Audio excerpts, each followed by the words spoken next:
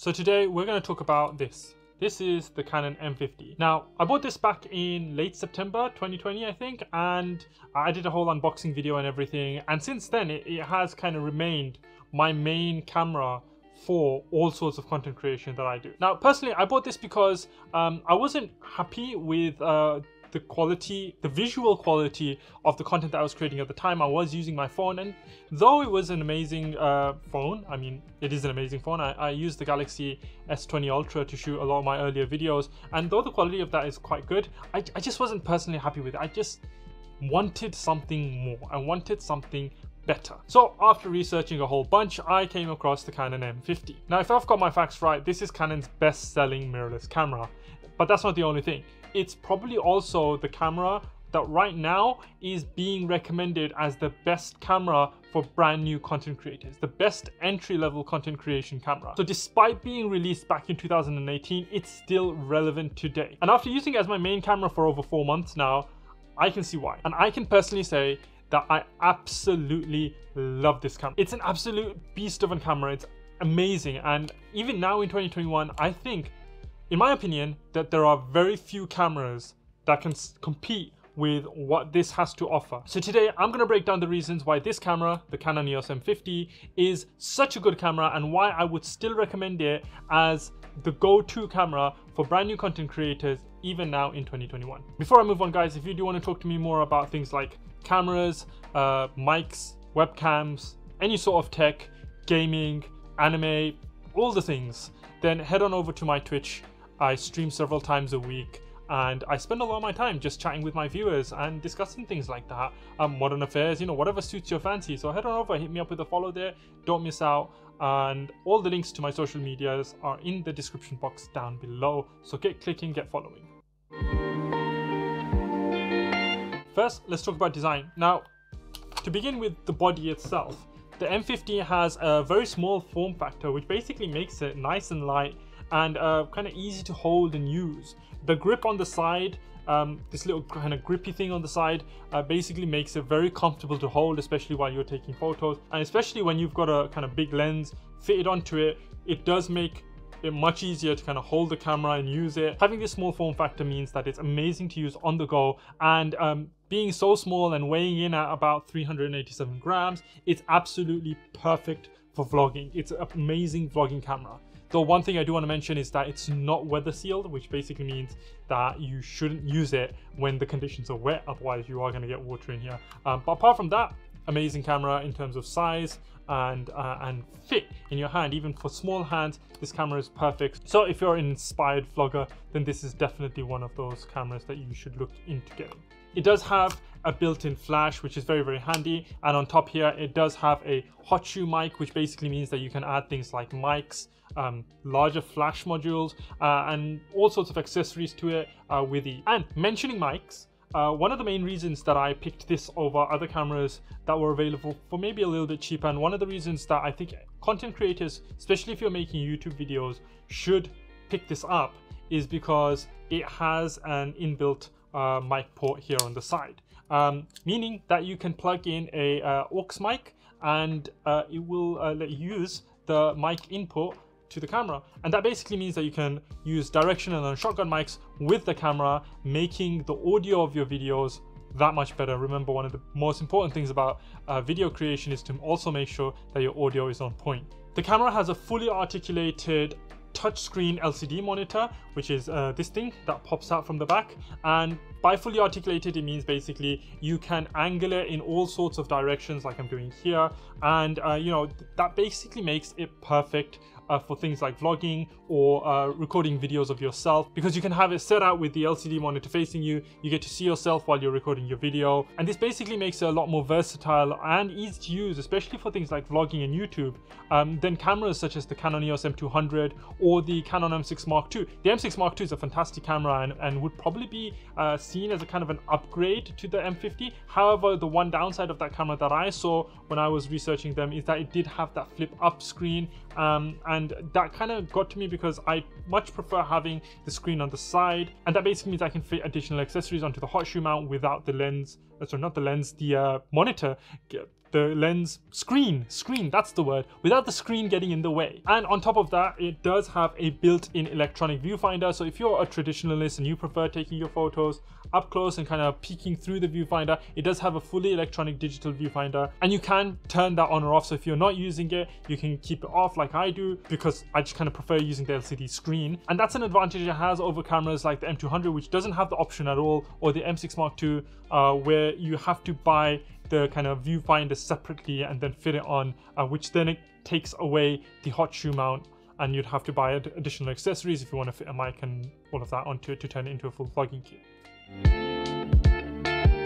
Now moving on to the recording capabilities of the camera, which was obviously um, the, the features that attracted me the most uh, for this and the reason I got it was to record videos. The Canon M50 is a 24.1 megapixel APS-C camera and what that basically means is that obviously it's got 24.1 megapixels um, in its sensor. However, the APS-C side basically means that this is a crop sensor camera with a sensor size of 22.3 by 14.9 millimeter and that adds on an additional 1.6 times crop factor to uh, any image that it takes. Now to anybody who doesn't know what that means, a full frame camera will basically have a sensor size that is equivalent to the 35mm traditional film frame size um, that you got in kind of the olden day cameras. Now compared to that, an APS-C camera has a cropped sensor, a smaller sensor by whatever crop factor like I mentioned it, this one has a 1.6 times crop factor, and that basically means it has a smaller sensor size by that crop factor than a full frame camera. So you might still be asking, so what does that even mean? What, you know, what does the sensor size have to do with anything? And what that basically means is that on a full frame camera, if you use a 35 millimeter lens,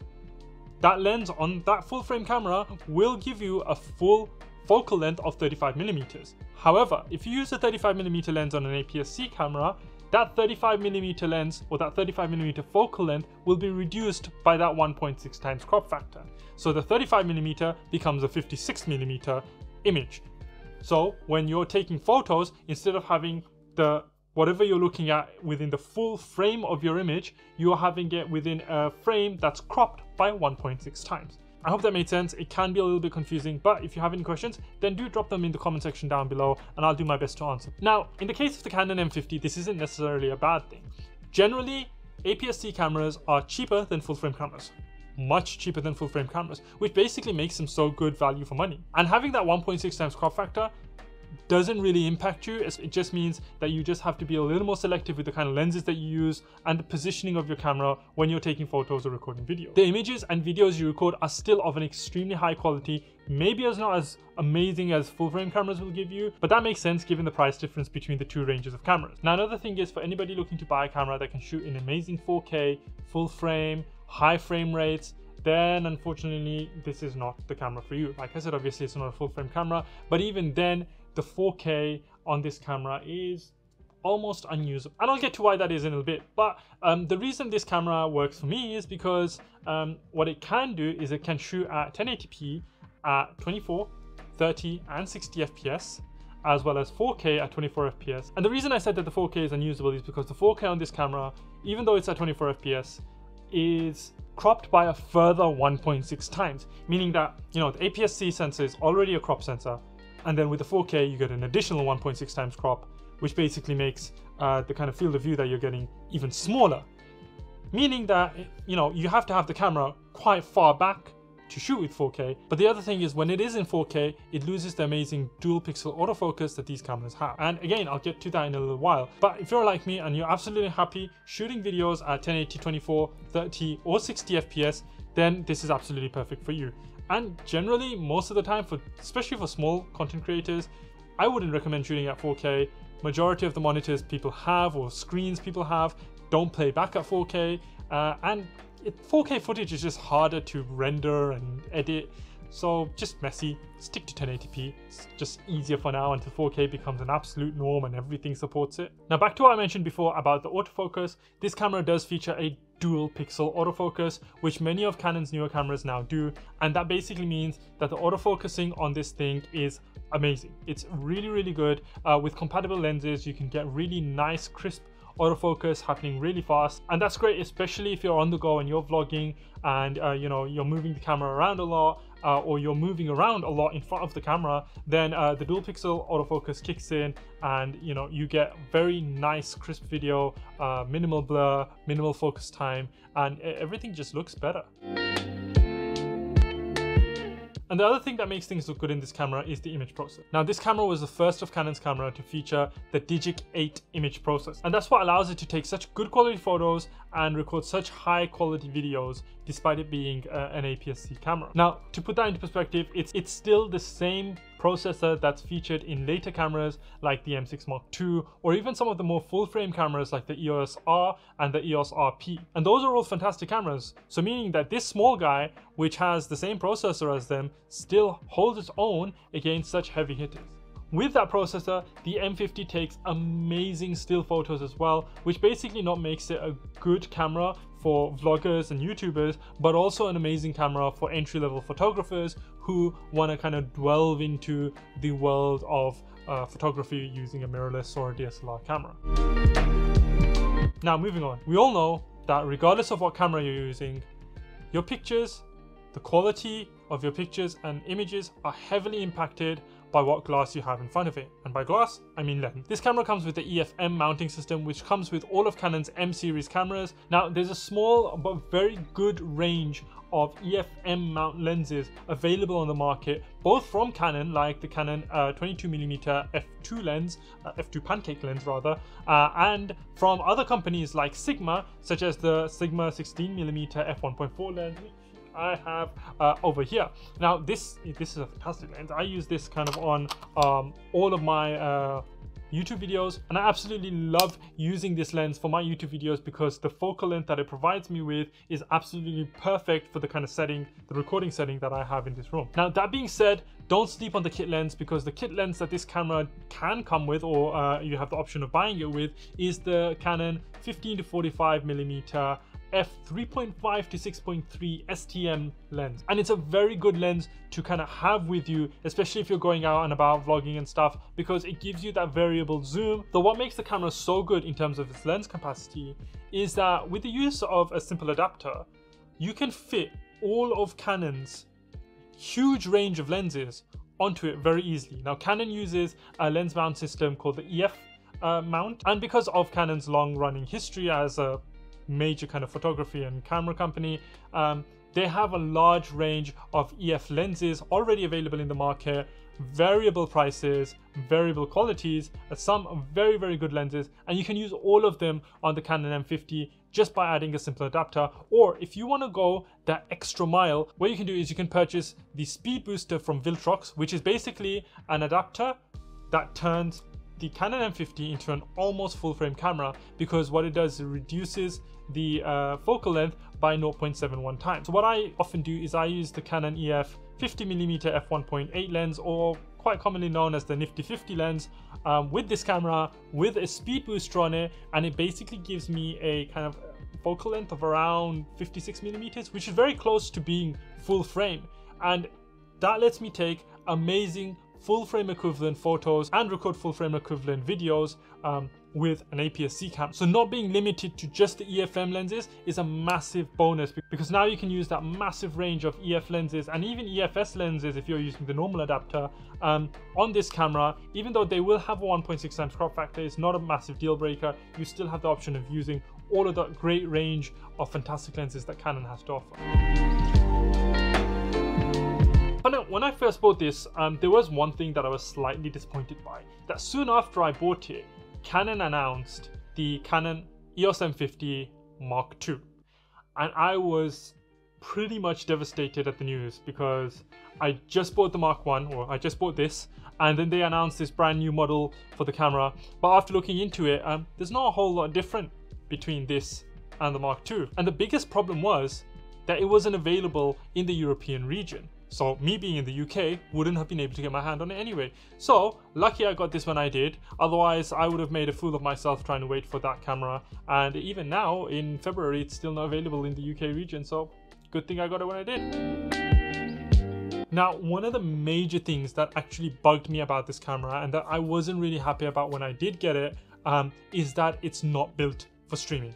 And as a streamer myself, that was a huge disappointment. It doesn't have an option for unlimited runtime and it doesn't have the ability to output clean HDMI, which are two of the main things that you need while you're streaming. This means that when it's connected to a capture card, um, it will display all the kind of on-screen uh, info that you see on the camera screen uh, or the autofocus box. Now Canon have the EOS webcam utility app uh, which you can use with this to stream. However, I'm not very fond of it. The quality that it outputs isn't as high as I personally like it to have. I'm very particular with these things. So, you know, it was a little disappointing to me that this thing didn't have these features. However, there is a workaround that I found and it works. You can stream with this using a capture card. Yes, it's not built for streaming. It just means that you've got an additional cable and uh, a few tweaks of the settings that you'll have to do. However, that does limit the camera to being used uh, in manual focus mode only. Now, again, that's not a very big deal breaker because if you're streaming, then you're not going to be moving around a lot anyway. So having it in manual uh, focus is not the worst thing in the world. And what I'm planning to do is make a tutorial of how to use the Canon EOS M50 for streaming using a capture card easily. Now Canon does seem to have fixed these problems with the Canon M50 Mark II, which was one of the reasons I was slightly disappointed that I wasn't able to get hold of one because it would have been perfect to have an all for one. However, I do have alternative cameras that I use to stream, so you know, it doesn't really matter to me that this one can't, it can stay as my dedicated YouTube camera. Now in terms of price here in the UK, the Canon M50 with the kit lens does retail uh, brand new at about 650 pounds and used for about 500 pounds. I'm pretty sure that if you were going after the body only you could get it for even cheaper than that. But like i said the kit lens is fantastic to use right out of the box so it's not necessarily a bad thing even if you were to pick it up with the lens. And i think for all the features that this thing offers it is fantastic to be able to get it for that kind of a price range given that you'd have to spend over a thousand pounds on a full frame camera and then even more money on lenses now, rather than doing that, what you can do is you can pick up this, uh, maybe even without the kit lens uh, for cheap, and then invest in a couple of good quality lenses like I have uh, with the Sigma 16mm and the Canon 22mm uh, f2 lenses. Now the other reason why this price is fantastic is because with the announcement and the release of the Canon M50 Mark II, um, in, especially in those regions where the Mark II is available, the prices for this thing have significantly plummeted. Um, so it's probably a good time to pick one of these up now, unless you're really bothered by the lack of streaming capability that this has and just want the easier option of using the Mark II for streaming, then by all means go and spend more and buy the Mark II. So there you have it guys that's my review of the Canon EOS M50.